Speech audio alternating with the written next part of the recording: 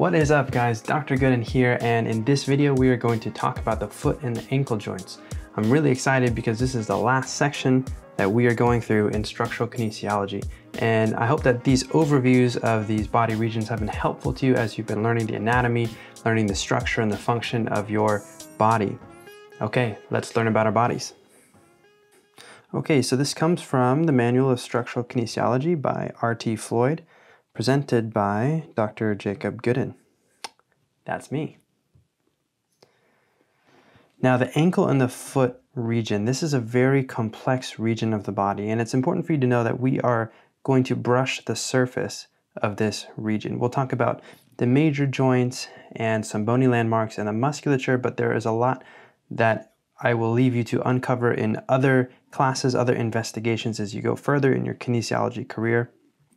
But this should give you a good overview of these structures. Okay, so we have 26 bones and 19 large muscles in this region. We have very uh, a very large number of small intrinsic muscles that we're not going to talk about, and more than 100 ligaments.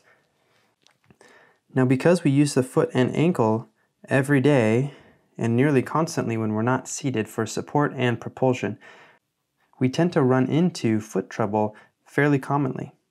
So poor foot mechanics can lead to discomfort not only in the foot but up the kinetic chain as well. And there's really no substitute for adequate muscular development, strength, and proper foot mechanics. So there's no pair of shoes you can buy, no orthotics you can get, no tape job that you can have the athletic trainer put on your foot, no brace that will make up for weakness or poor mechanics of the foot and the ankle complex. Now here's a brief overview of the walking gait from heel strike to toe off. And you can see on that closer leg, it's shaded in in pink. We start with that initial heel strike and then into the loading response, mid stance, and terminal stance phases, and then the toe off or pre-swing. So what's not shown here is the swing phase where your foot repositions to begin another heel strike. Now during that heel strike, the foot should be in supination, and we're going to talk about what that looks like, what that supination movement looks like later. And then during mid stance, the foot should be moving into pronation. And then finally, as toe off follows mid stance, the foot should return to supination.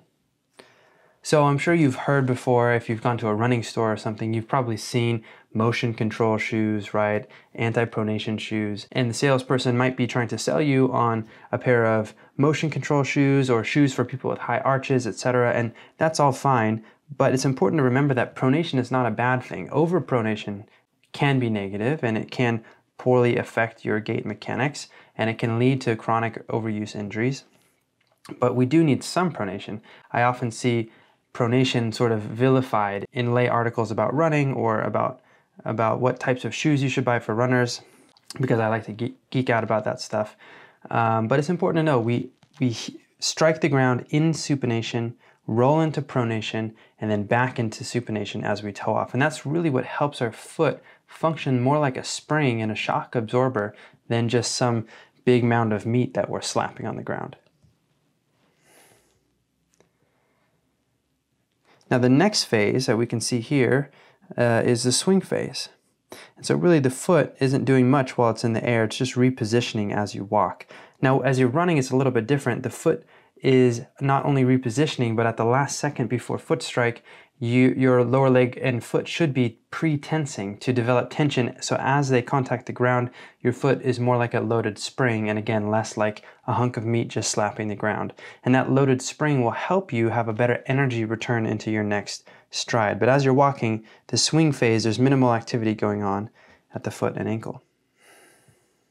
Now problems can arise if the foot is too rigid and does not pronate. So if you don't pronate, that's bad or if the foot remains in pronation past mid stance.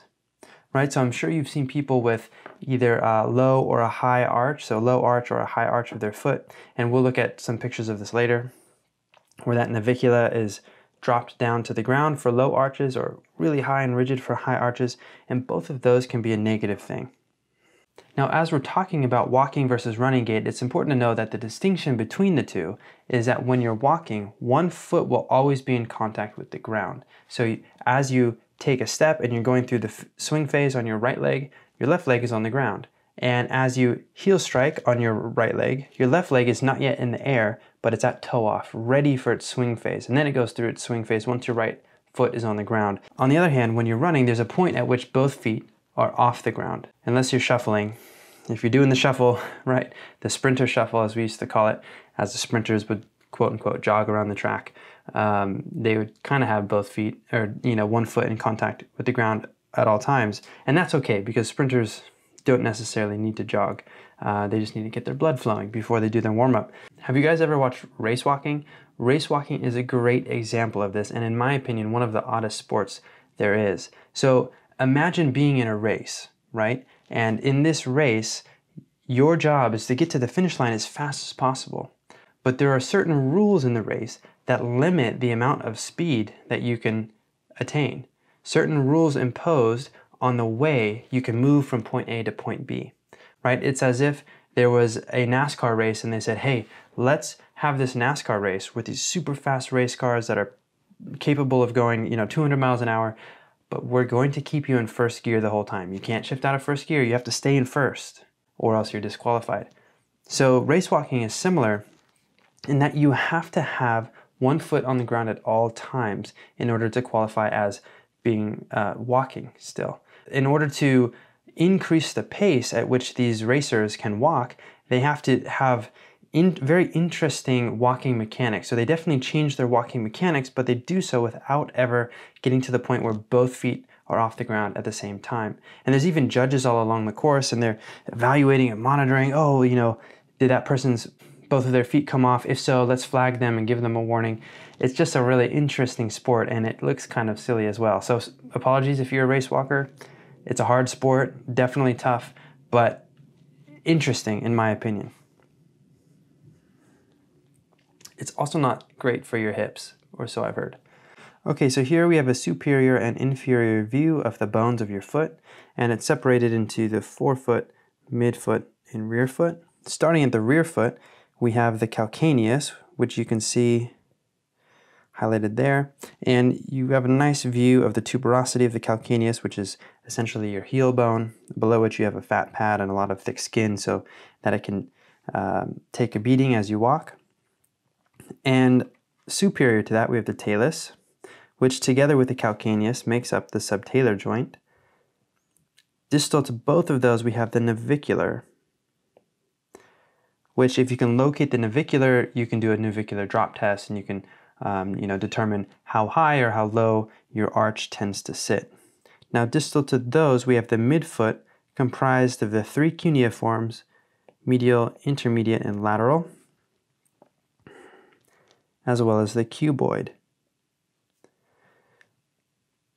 Now as we travel out to the metatarsals, you can think of these as analogous to the metacarpals of your hand.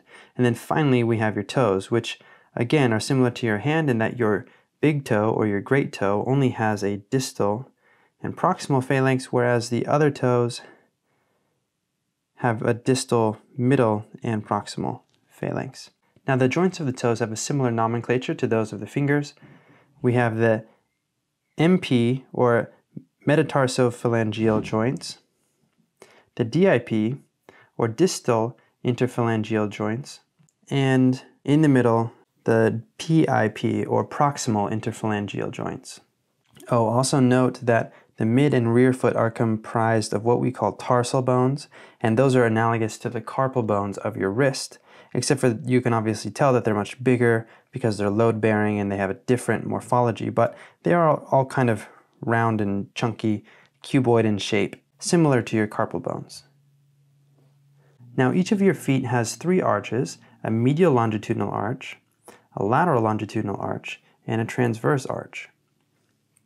As your body weight is transferred from the tibia to the talus, talus and to the calcaneus, these three arches together allow the distribution of your weight forward and the capturing of some of that energy to be used again in toe off. Now some more bony landmarks to look at. We have the distal malleoli of the tibia and the fibula. So here they are down here.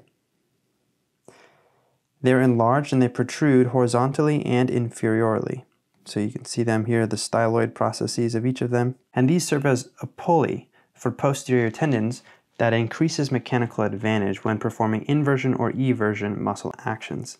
So you can think of them as similar to the patella in that they lengthen the moment arm that the muscle is pulling through. Now the base of the fifth metatarsal, right here, is an important bony landmark. It's enlarged and prominent because it serves as the insertion for peroneus brevis and tertius. Now it's common to fracture this part of the fifth metatarsal. Unfortunately, it's called a base fracture or a Jones fracture, and they're somewhat hard to heal. And it's common because it's it protrudes so much, and you have the um, all that tension on it from the peroneus brevis and tertius. And funny story, my wife actually broke her fifth metatarsal this last summer. We were at my little sister's wedding. We were dancing. Backstreet Boys came on, and you know, the the dancing got a little bit crazy. And luckily, it wasn't a Jones fracture. It actually fractures it, fractured it kind of diagonally right in there. But it was a bummer. She couldn't run for a long time, which she loves to do. So beware of the Backstreet Boys if you're at a wedding and you're having fun and it comes on, especially Backstreet's Back, all right, that song, classic song, but just, you know, don't jump too high, don't come down wrong on your foot. Okay, that wraps up the foot and the ankle joint bony landmarks. So th remember, this is just an intro. There are so many more structures in there for you to explore, but I just wanted to give you an orientation to get your bearings with these structures. In the next video, we'll be talking about the joint movements of the foot and the ankle, and they're a little bit complex. You know, we'll talk about pronation and supination, we'll talk about inversion and eversion, and what that looks like at those joints. So check that out over here to keep learning, or check out any of the other videos in the structural kinesiology playlist. Thank you guys so much for sticking around. Let me know if you have questions in the comments and I'll see you on the next video.